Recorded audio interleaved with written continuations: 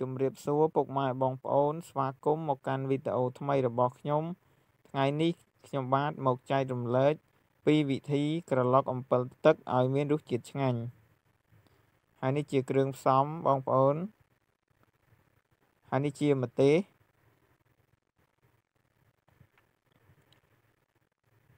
ហើយនេះជាអំបិល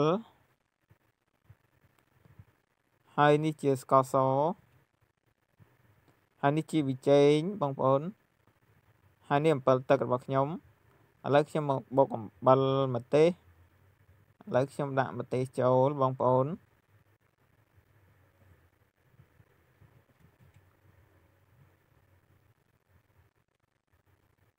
ខ្ញុំកាច់ស្ដងវាចេញហើយខ្ញុំដាក់អឺចំនួនប៉ុណ្ណឹងបងប្អូន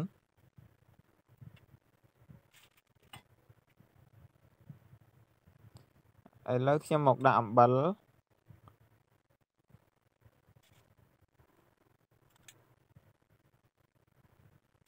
ខ្ញុំដាក់ប៉ុណ្ណឹងបងប្អូន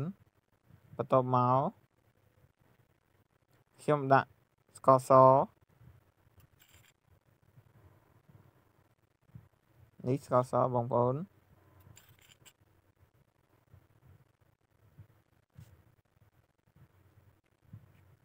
បន្តមកទៀត ខ្ញុំដាក់ប៊ីចេង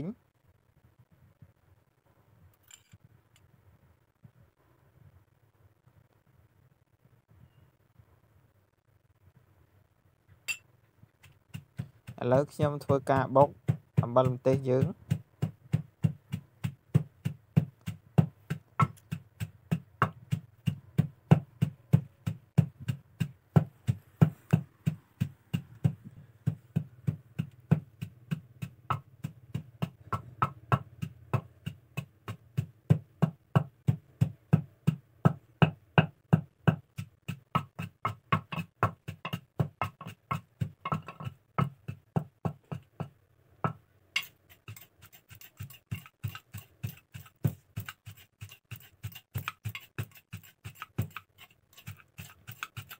ហើយយើងបុកបែបហ្នឹងបងប្អូនយើងយកស្លាបព្រា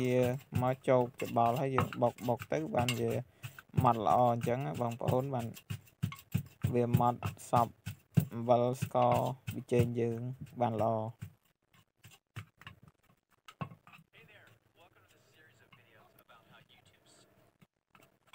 ឥឡូវខ្ញុំបានបុកអំបិលម្ទេសយើងរួចហើយបងប្អូន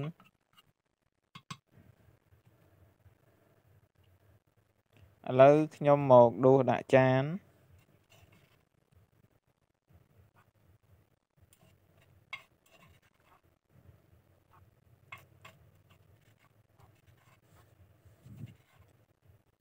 ហើយខ្ញុំទុកមួយឡាយសិនឥ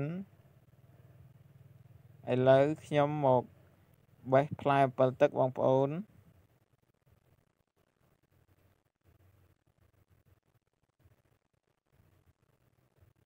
ហើយខ្ញុំយកចានស្អាតមួយដាក់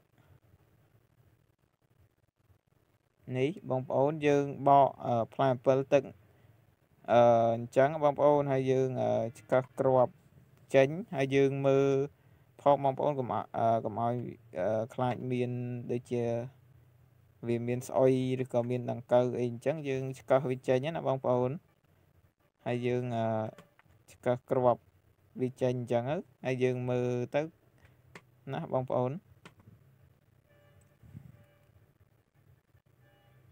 ហើយយើងបន្តបក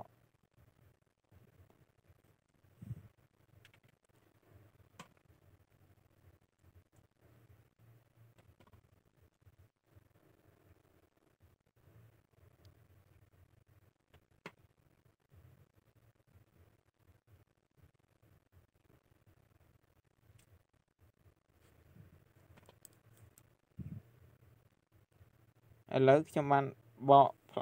ផ្លែអំពិលទឹករួចហើយនេះជាសាច់អំពិលទឹកបងប្អូនឥឡូវខ្ញុំមករោយអំបិលម្ទេសដើម្បីនឹងក្រឡុកបងប្អូននេះខ្ញុំដាក់អញ្ចឹង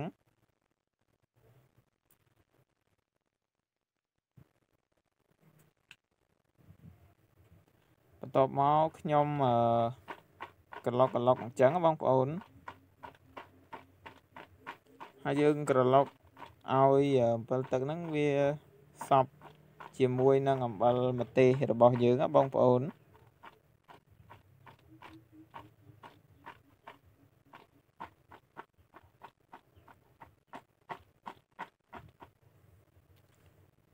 ហើយនេះបងប្អូនខ្ញុំបានក្រឡុកសពអស់ហើយ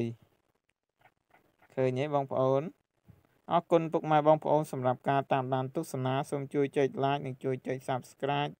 ហើយចុចសញ្ញារូបកណ្ដឹងនិងទទួល